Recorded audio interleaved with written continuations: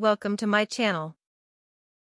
For hot sleepers, falling asleep and staying asleep can feel like an uphill battle, especially in the summer.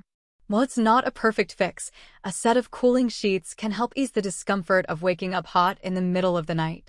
This set from Sheets and Giggles is made of silky smooth lyocell that wicks away moisture to help manage night sweats.